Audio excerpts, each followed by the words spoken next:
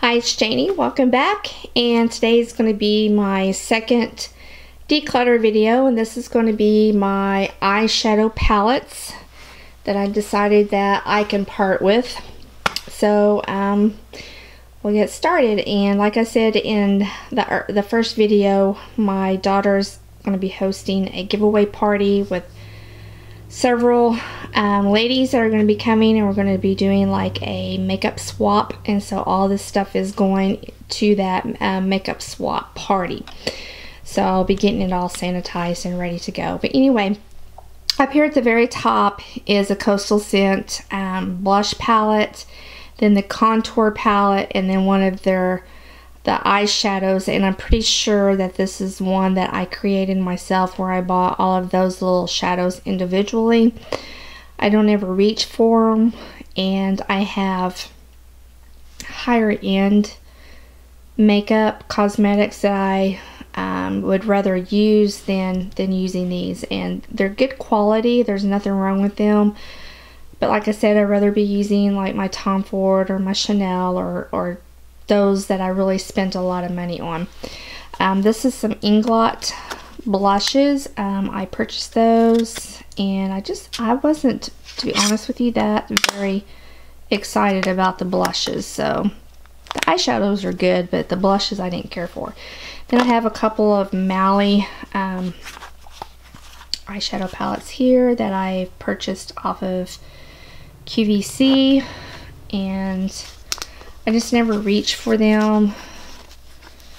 And I had some more that I had given away probably a year ago maybe. And I kept those two, these two, thinking that I would use them, but I never did. So I'm just going to part with them. This right here is a Naked 2 palette, but it's not a real Urban Decay Naked 2 palette. It is a knockoff. And I knew that buying it, but um, I'm going to pass that on because I have not used that. This is a Skin by Dimitri James eyeshadow palette that was purchased off of HauteLook and I just never reached for it. So I'm going to put that in the little giveaway party stuff. This right here is a Z palette that I made and it has in it some Wet n Wild a Wet n Wild eyeshadow palette and then some Mark blushes and some Mark eyeshadows from Avon. And I'm not for sure what blush that is, but I'm going to put that in there. I never, once I depotted those, I never used them again. And then this is something that I just recently purchased from Kiko. And it was just a little eyeshadow palette with some a blush and a bronzer. Again, I never, I used it a few times when I first got it, but it's just sitting in the drawer, so it's time to go ahead and pass it on. Then I have this Morphe, um, what is this? This is the 28S palette, and I think this is probably one of the first Morphe palettes that I bought, and I used it a little bit. Some of the, the shadows broke, so I'm to put that in there too. Then the Revolution palette from Ulta. I didn't really care for that. The Revealed palette from Coastal Scents. This little guy right here, I was, I almost decided to keep this because I actually use this quite a bit, but I haven't used it probably in at least a year, but it's the Love and Beauty from Forever 21 little eyeshadow palette. On Akashic Nude, I think. Ion neutral ion yeah ion neutral palette. Again I don't I just don't never reach for it so there's no point in keeping it. A Bare Minerals nudes. And I don't even I don't remember when I even got this but again it's something that I just don't reach for so this this little elf the mad for matte everybody was talking about this on YouTube and how great it was. I just didn't really care for it. I didn't think it was that great. So I'm to give that to them. And then this is an Urban Decay, um, the Great Powerful Oz.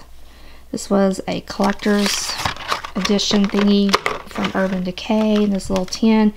But what I did at some point in time, I took some eyeshadows out of it. And where they went, I don't know.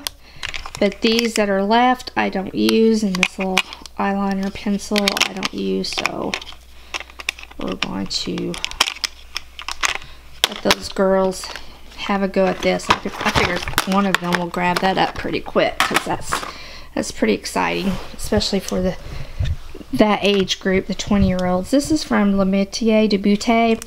Um, I had gotten a year long subscription service to to them. It's kind of like Ipsy, but it was high this high brand. Anyway, this came. I didn't really like this, and this was you know from a very expensive brand, and I paid a lot for that subscription service for that whole year. And half the stuff, well, I would say probably 75% of the stuff I didn't really like, so that's going to be going. And then I have a couple other things here. Now this, this right here, this Smashbox thing, I am going to be tossing this. This is not going in there. This is something that I've had for years. It's broke. I used, actually I used up quite a bit of stuff on there. This was, you know, before YouTube, before I got caught up in YouTube hype of purchasing every cotton picking new thing that comes on the market.